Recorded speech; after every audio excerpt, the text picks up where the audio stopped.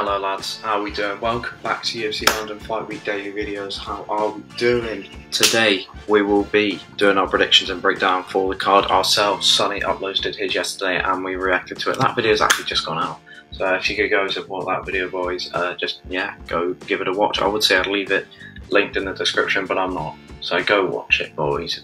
Just click on the channel and it will be there. Like, come on, don't make me put it in the description. Anyway, uh, we're going to be breaking down the fights except these two here because I don't know much about. I know about Dolby. I don't know much about the rest of them. We're going to start with Jai Herbert versus Kyle Nelson. Jai Herbert, the, what's it? The Black Country Banger. Um, he'll be taking on Kyle Nelson. Now, Jai is coming off the knockout loss to Ilia Topuria. Uh, Jai is 1 in 3 in the UFC, but he has 3 knockdowns. Like, that is mad to think about. Uh, he, had, he his losses though, Renato Moicano, uh, Ilia Topuria, Trinaldo. He was beating Trinaldo as well. He was beating uh, Ilia Topuria, but he got overconfident, and then yeah. Uh, but he does have a win against Conor Worthy, I believe. Kyle Nelson. Now, Jai Herbert's our big favourite, and I can see why, because he's a, he's a great fighter. He's just susceptible to being like overexcited sometimes when he does catch his opponents and like coasting to a victory, then bang, he gets caught. Uh, but Carl Nelson, featherweight. Oh, he's coming up. He's coming up. Unless his fight is at featherweight, I'm guessing it's not because Jai Herbert is six foot one. Uh, KO lost to Billy Quarantillo, so it's his first fight in like two years. Okay. We're going to go with the Black Country and Banger on this one, boys. And yeah, getting back in the win column, getting back on the road. He's probably never going to be like a champion or a top 15 or anything like that, but Jai's a very exciting fight to watch. So I can't wait to see him put on a performance. Mohamed Mokaev, I think that's how you pronounce Mokaev, versus Charles Johnson. I've no clue anything about Charles Johnson. Mokaev had like 30 amateur fights, undefeated as a pro, had like that perfect debut, got like a flying knee knockdown, uh, wrapped up the guillotine, and then he got it against uh, Cody Durden. Is that his name? He recently won against JP Buys, who got like one of the worst chins of all time. Um, but we're going to go with Mokaev in this one because the man is just absolutely phenomenal, boys we definitely have locked in another English uh, champion right here. Lads, you probably won't catch me awake for this fight, I can't lie. Amir versus JSP. Oh my god, JSP's last fight, oh, it's boring. It was boring. He can be exciting sometimes, but like, look at this, right? Jonathan Pearce. Let's look at the stats for his last fight. Alright, here we go, right?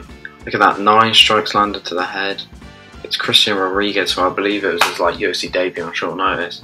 11 minutes of control time, six takedowns, didn't do like much with it as you can see there. Christian Rodriguez did have some success on the feet, uh, but I'm going to go JSP. Because I believe this kind of could be kind of like a passing of the guard, even though Amirkhani was never anything like special. But he's been like a veteran in the UFC. He's had some alright wins, such as Okay, lads, I can't lie. His notable wins aren't that great, uh, to be honest. I mean, he's fought the likes of Edson Barboza, Shane Burgos, Arnold Allen. Uh, but he's he's lost he's lost all of them. Mike Grundy's an impressive win, to be fair, and that one was quite quick as well. So, like Mike Grundy shut in, uh, he wrapped up the guillotine, and yeah, I'm to go JSP on this one. Nathaniel Wood versus Charles Rosa. Now this is Nathaniel Wood's debut at 145. I believe he's moving up to 45 so he can be more active. Uh, because he hasn't fought in a while and he wants to like fight a lot more. Um, minus 500 favourite. Wow, that is a lot. I believe Charles Rosa's last fight was at lightweight uh, and he lost it to TJ Brown. That must be yeah. I believe he just got controlled. I can't lie. I think he just got controlled. Um, but we're going to go Nathaniel Wood. It's going to be a clean sweep for the English boys. Uh, that may be spoiling my predictions a bit, but it's going to be a clean sweep. Uh, Mark Casey versus Hadzovic. Uh, Mark Casey had an impressive performance last time against uh, that Santa Claus man. Uh, not actual Santa, He does not fight in the octagon that late. Uh, he trains with Urijah Faber, uh, Alpha Male. What's his name? Like, it begins with B. I couldn't tell you, but uh, Mark Casey, he secured like 10 takedowns in that fight. Showed the improvements in the wrestling. Didn't do much with those takedowns. Um, but yeah, Daz, Damir Han, Hanzovic is coming off the win, I believe, to Yancy Medeiros. Now, boys, clean sweep for the English. Mark Casey by decision. Mason Jones versus Ludovit Klein. This is a controversial opinion from me, lads. I don't think Mason Jones is that special. Like, he won't be champion. I just don't. I mean, he could prove me wrong here. He just like in the UFC hasn't had that performance yet to like break through and be like to everyone, "Yeah, I'm here to stay. I am UFC quality." He had an impressive win. David Onama is his only win in the UFC. All right. David Onama exposed a lot of holes in Mason Jones' stand-up, and that was to a featherweight. Like he was getting wobbled every time the feet, every time the feet, every time the fight was on the feet. David Onama was wobbling him. Uh, so, Ludwig Klein, he lost for, I believe, uh, I want to say 272, and he looked really good there. But I'm still going to go Mason Jones. Uh, by like grappling. Just, it'll just sit on him for three rounds. That's what it'll do. I, I do hope he does well though, Mason Jones. Like, I will support him if he starts doing well. Like, I really support Jack Shore as one of the Welsh fighters. Sad to see what happened to him, by the way. Why am I saying that like he died? No, he didn't die. He just lost for the first time. We're on to the main card now, boys and girls. Uh, we have got Paul Craig versus Volkan Oezdemir. I believe Volkan Oezdemir's last win was against Rakic, if I am correct. Paul Craig's last win was against Nikita Krylov. Uh, by the way, lads, why is Paul Craig and Oezdemir below Krylov Gustafsson? They're both ranked higher, and Paul Craig just beat him. So, just be Krylov. So yeah, I don't understand uh, what's up with that one. Volkan Oezdemir, they've just got to avoid the, the arm bar and the takedowns. Because if this is a stand-up fight, Oezdemir wins. But he's not going to win, because Paul Craig's going to win. Molly McCann versus Hannah Goldy. Hannah Goldy's 1 and 2 in the UFC, right? Molly McCann's on like a two fight win streak now. I think uh, the UFC are just trying to build her up a bit more. Um, yeah, Hannah Goldy, When I went to do like research on her, uh, her win, who was it again? It was a submission, um, I believe. But I just like I look to see if like if she goes for leg kicks a lot more, she goes for like if she targets one area more, and she mixes it up quite a bit. That's what I noticed. So Molly McCann is a big headhunter. She's a big head headhunter. Like you see her fights, she's trying to she's trying to knock you out with the hands, but she just doesn't have like the power to do that. And she caught Carolina with the spinning elbow. That was beautiful. But I think, wait, Hannah Goldy is this her debut at 25? Oh, I didn't look out for that. I can't even lie. Um, but this is the one rare occasion where you'll see Molly McCann with a reach advantage. You'd never thought you'd see the day. Uh, but Molly McCann does win this by decision, probably like 30 25, quite easy. Bish, bash, bosh. Alright, lads. Nikita Krylov versus Gustafsson. I'm excited to see Gustafsson back at 205, back against contenders. Krylov hasn't had the best run recently. Uh, since coming back to the UFC, I believe he's like two and four. Uh, with wins over like Johnny Walker. Uh, I can't remember who the other one is, but he's lost to like Paul Craig.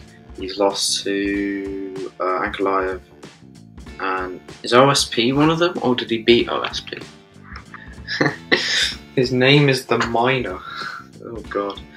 Don't be surprised if Pat Barry is near your locker room before the fight. Uh, he, oh, he beat OSP. He lost to Teixeira by split decision, to be fair. And then, yeah, beat Walker by unanimous decision. That is pretty much like very heavy wrestling style approach in that one. Paul Craig and Ankalaev. Uh, I'm actually going to go Gustafsson in this one, you know, lads. He looked alright before he got submitted against Werdum. Um, but yeah, I just I really want Gustafsson to win. I just really want to see him back in the win column again. He's on a three fight losing streak uh, to Jones, Smith, Anthony Smith, and Werdum. All finishes, all finishes. Um, but yeah, boys, I'm gonna go Gustafsson. Paddy the Baddy versus that American that twerks. He's got a weird body, only that Jordan Leavitt. Uh, when I did research on Jordan Leavitt, one thing I picked out leg kick heavy approach. Leg kick heavy approach. I believe Paddy will have the advantage on the feet. Uh, Jordan will have a bit of one on the ground, even though like Jordan's alright on the feet as well. Paddy's all, Paddy's really good on the ground. Very tricky. Um, I'm I'm gonna wedge Paddy in this one, lads. I just don't know enough about Jordan Leavitt. I mean, we'll see come fight night who wins this one. Uh, will the Monkey King win it? I believe that's his name, Monkey King. Or will the baddie win it? I'm gonna go with the baddie. Minus 260. Is that for a reason, or is that just because he's got a lot of hype in it? Oh, lads, Chris Curtis, the way he fights is just so satisfying. Like his last fight against Rodolfo Vieira, those body shots were just, oh, they were beautiful. I think he can keep the fight standing against Hermansson. The takedown defense he showed against Vieira was absolutely phenomenal. And if it's a stand-up fight, Chris Curtis's boxing will outbox like Hermansson's boxing. But Hermansson's stand-up has improved. He didn't look bad against Sean Strickland. It was a split decision, but that was Sol Diamar. Sol, how do you say it in a not an American accent like Jon Anik says it? Sol Diamato? I don't know. Uh, but Chris Curtis wins this one by decision. Heard it hit first, gets his name in the top 15. It's just a shame it's not Darren Till, boys. It's just a shame. Main event Tom Aspinall versus Curtis Blaydes. I'm going to go with the clean sweep for the English. Sonny uploads will be wrong. Tom Aspinall will win this one. Curtis Blaydes is a wrestler with no submissions, right? A lot of people are expecting Curtis to try and take this to the ground, including Tom. I think Curtis is going to try and keep this standing and throw Tom off it, uh, like he did with uh, Chris Daukaus. But I believe, I believe it's quite close on the feet, quite close on the ground. I'd, I'd say Curtis has a power advantage, Tom has a speed advantage. Uh, when you're finishing the fight on the ground, I'd say Tom has an advantage. Uh, because he's he's got very good jiu-jitsu. His dad's been teaching him it from like very young age. So I'm going to go Thomas on this one by submission. Curtis has never been submitted before. I think he does for the first time on the 23rd of July. Anyway, boys, thank you for watching. If you did enjoy, smash a like and subscribe, and I'll see you another time. Bye.